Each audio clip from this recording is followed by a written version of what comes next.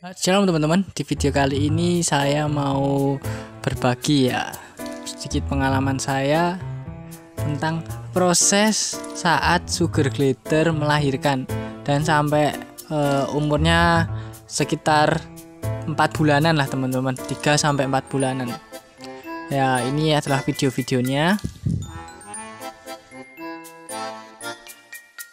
Dan jangan lupa untuk subscribe ya teman-teman dan like ini akan sangat membantu saya.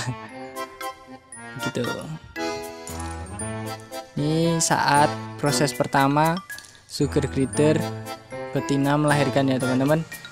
Ya warnanya merah seperti ini. Kayak gumpalan daging pertama kali keluar lalu si betinanya. Mungkin ada waktu tertentu dibantu, dibantu si jantan tapi lebih dominan si betina. Dia akan menjilati uh, bulu-bulunya yang mengarah ke kantongnya supaya anaknya itu bisa e, lewat atau melewati bulu-bulu itu lebih mudah. Lalu setelah kira-kira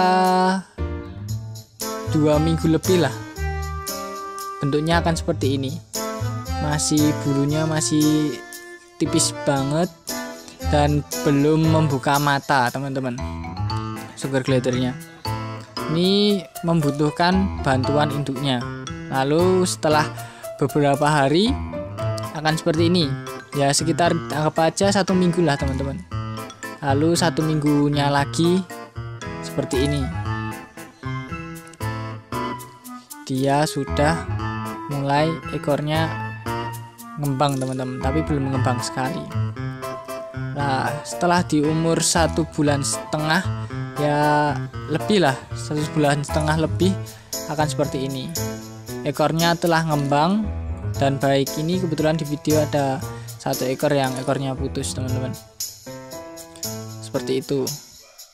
Ini videonya saya gabung-gabungin ya teman-teman dari setiap sugar glider jadi jenis-jenisnya ini nggak sama. Ada yang klasik grey tadi sama WF ini cuma sebagai gabungan aja lah proses proses melahirkan sampai dewasanya. Lalu ini yang umur sudah empat bulanan ya teman-teman. Ya asal sering diajak main pasti jinak sih teman-teman.